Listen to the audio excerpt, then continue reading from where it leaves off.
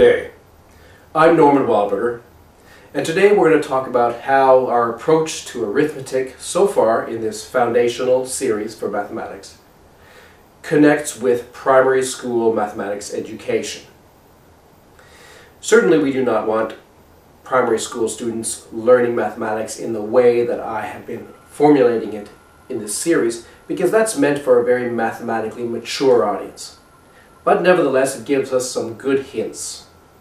So let's start off with our first and most important subject, the natural numbers. Now I've already emphasized before that there are really three different levels at which we can introduce natural numbers. First as strings of ones. And then in a sort of simplified Roman system using Roman numerals X's, C's, and M's, and so on. And then finally, more sophisticated, the Hindu-Arabic notation that we traditionally use. And I think it's important to distinguish these different approaches and to try to get very young students, perhaps preschool students, thinking in terms of this representation of natural numbers rather than this. So students don't have to learn one, two, threes when they're three years old, but they can learn to represent a group of objects by a string of ones. That's very natural. Then we discuss the operations, the primary operations of addition and multiplication, and the secondary operations of subtraction and division.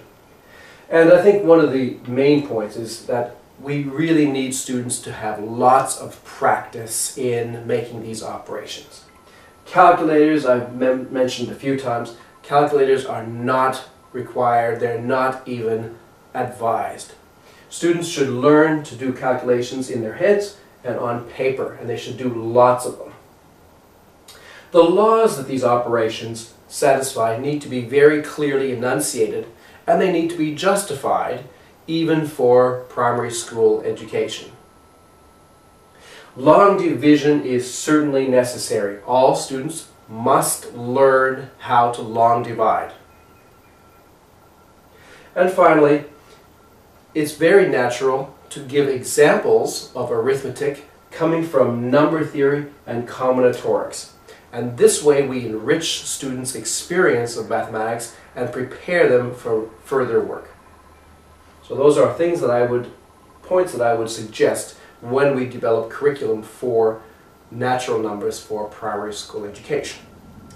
The most important subject in primary school mathematics education is fractions. Fractions can be introduced in a number of ways. And I think for primary school students a really good way is to think about little squares representing natural numbers. If we do that, then the numbers 1, 2, and 3 are represented by little strips of squares. And when we do it that way, with a two-dimensional aspect, then describing fractions becomes relatively simple and straightforward. So this fraction a half can be conveniently represented by taking a half of one of these little squares. Or two-thirds, dividing it into three and taking two-thirds. Here, for example, are three squares, that would be the number 3, and the number 3 over 2 would be represented by that portion of that. And you can see physically that that is equal to 3 halves that we have there. I would generally avoid the usual pie type pictures where we divide a circle into equal numbers of pieces. The reason is because that it's actually very hard to divide a circle evenly into, say, seven pieces. Even theoretically, that's a very hard thing to do, and I don't think it really corresponds as well to intuition as a linear representation. Here's another way of connecting what we've been talking about in terms of fractions with what you can do in primary school. Here's a part of the Cartesian plane with 7 in this direction, 3 in this direction, so that's the ordered pair 7 and 3. And we said that if you have a fraction like 7 over 3, that you could associate it with this ordered pair 7, 3, or also with the line from the origin to that point. Now, the squares that we were talking about up there can very happily be represented by a strip. This strip right here that lies above the x-axis, one unit high.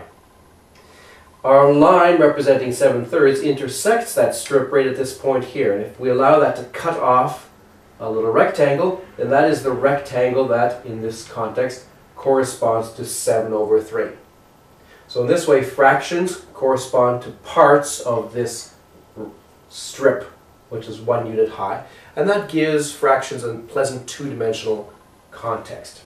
It's also, again, important to explain how the operations on fractions come from the more simple and basic operations on numbers. And to emphasize once again, it's absolutely crucial that students have lots of practice without any calculators in actually performing operations with fractions. These form the basis for all facility with algebra later on.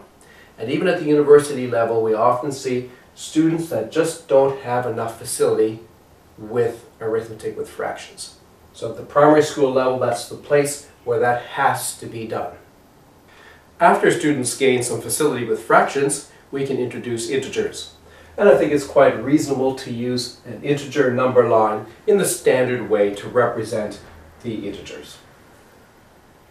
The rational numbers are much like fractions, and I think it's better to think about them in a two-dimensional context rather than in a one-dimensional context.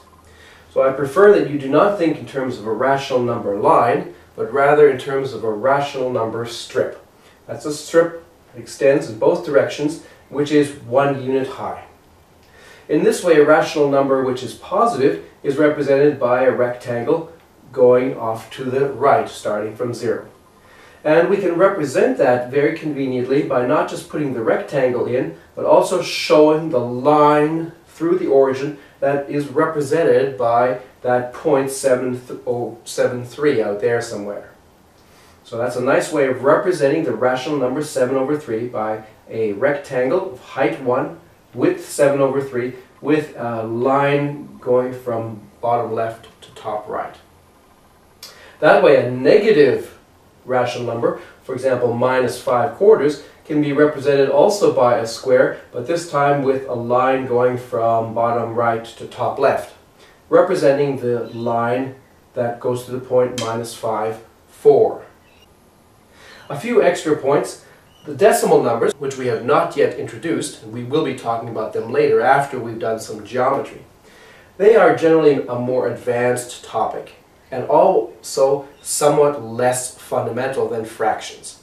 Students should learn fractions thoroughly before they learn decimals. And I would recommend, perhaps controversially, that decimals are not actually studied until, at least not studied in depth, until post-primary school. I would also like to point out that one should stress the relative importance of concepts.